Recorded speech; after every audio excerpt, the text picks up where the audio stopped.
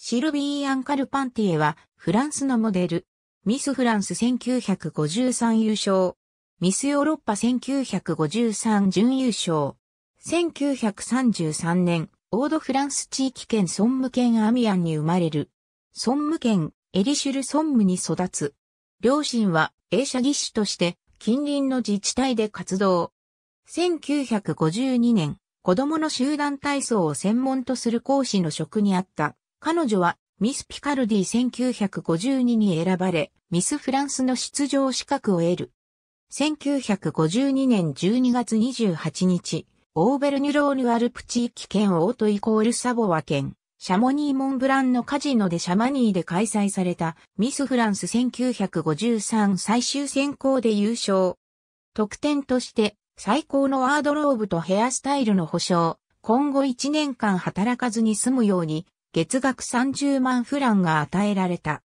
1953年1月、イスタンブールで開催されたミスヨーロッパ1953で準優勝。ミスフランスとしての任期の間に、故郷アミアンに立ち寄った際、ラジオ電気技師のミヒエル・ウォーレンバーグと偶然再会する。彼は幼馴染で初恋の人である。次に出会ったのは、アミアンの映画館の前。その8日後、二人は結婚を決める。1953年1月、結婚式の準備のためミスワールド及びミスユニバースに出場しないと表明。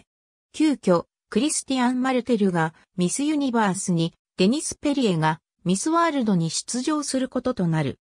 二人はミス・フランスのタイトルを持たずにミスコンでフランスを代表した珍しい例となった。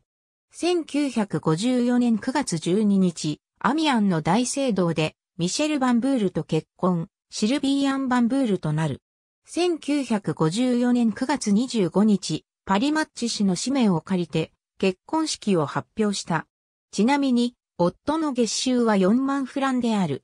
2017年10月17日、死去。去年84。孫無県、ダウールに埋葬される。ありがとうございます。